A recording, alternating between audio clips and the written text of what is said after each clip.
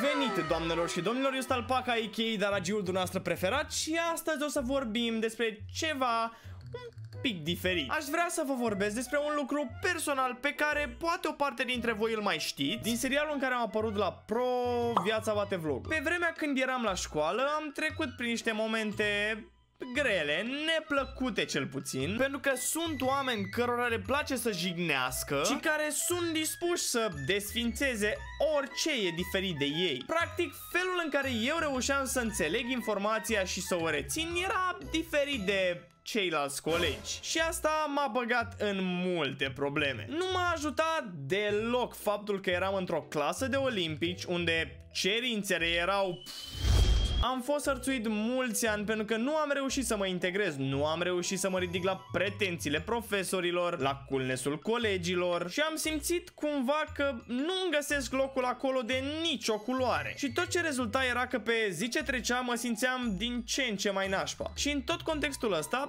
devenisem foarte timid, adică nu venea neapărat să interacționez față în față cu cineva, fie el coleg, fie el profesor, așa că m-am apucat de YouTube și am început să fac parodii la jocurile pe care le jucam toți din clasă la vremea aia. Era cea mai mișto variantă de interacțiune cu ei, dar nu cu toți, nici măcar cu majoritatea. Am auzit și citit cele mai nașpa comentarii, jigniri. Mi-am luat hate o grămadă, dar nu m-am oprit niciodată. Am continuat să fac ceea ce îmi place și Hei, uite mai aici. Ideea e că jignirile, hate-ul, etichetările negative Fie că vin ele de la colegi de clasă, profesori Nu fac altceva decât mult rău. Te pot afecta fix aici unde contează cel mai tare. Până în punctul în care tu o să începi să te îndoiești de tine Să crezi că nu ești valoros, că nu contezi. Dar realitatea e fix pe dos Și gândește-te dacă nu ar fi așa Ei nici măcar nu s-ar obosi cu hate-ul Pentru că hate hate-ul are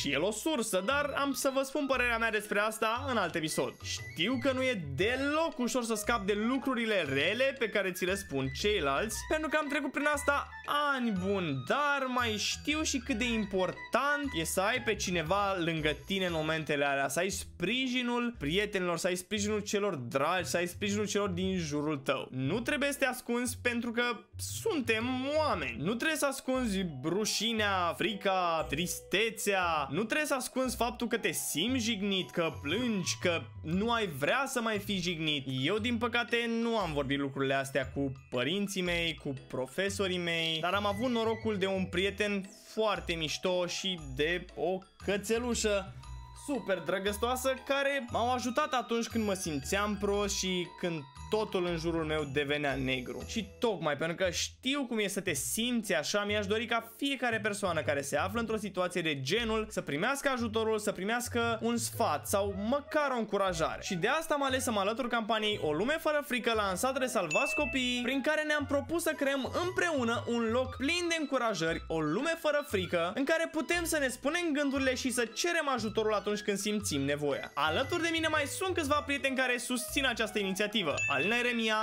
Mimi, Deliric și Irnarimes. Împreună vom reuși să creăm o lume așa cum ne dorim noi, o lume fără frică. Intră acum pe site-ul fărăfrică.ro și lasă o încurajare figurinei mele. O să vedeți acolo o jucărie super mișto, un mini un mini daragiu din colecția Neînfricații sau dacă ai trecut prin vreo situație nașpa pe net și simți că ai nevoie de ajutor, eu împreună cu prietenii de la Salvați Copiii suntem aici pentru tine oricând. Trebuie doar să te alături găștii fără frică, scriindu-ne prin ce treci apelând la control ajutor. Și așa, adunându-ne forțele, putem să creăm împreună, într-adevăr, o lume fără frică.